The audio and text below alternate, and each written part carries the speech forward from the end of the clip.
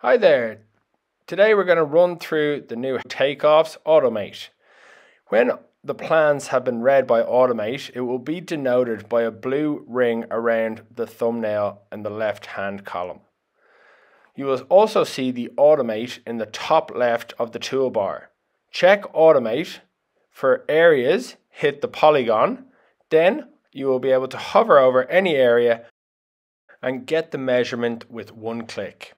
If you need to adjust the measurement, simply select the arrow in the toolbar, click the shape on the canvas, all of the markers will be highlighted and you can simply click, drag and drop them to their appropriate position on the canvas. Automate works the same for the length tool. Select the length, add it to a group and click the walls as you go around the plans, adding them into the group in the measurements drawer. If you need to adjust the length, you can do so in the same way that we did with the area measurement. Select the arrow, select the length, and just adjust the marker to suit.